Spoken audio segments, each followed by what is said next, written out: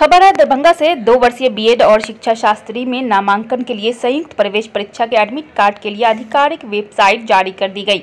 अभ्यर्थी वेबसाइट पर 13 जून से लॉगिन कर अपना अपना एडमिट कार्ड डाउनलोड कर सकेंगे। इसके लिए उन्हें वेबसाइट पर जाकर अपना अपना आईडी और पासवर्ड डालकर अकाउंट लॉगिन करना होगा। इसके बाद अभ्यर्थियों के सामने तीन विकल्प दिखेंगे। अभ्यर्थी तीसरा विकल्प एडमिट कार्ड पर क्लिक करेंगे, जिसके बाद स्क्रीन पर उनका प्रवेश पत्र प्रदर्शित होगा। इसके बाद वे एडमिट कार्ड डाउनलोड करके प्रिंट आउट करा सकेंगे।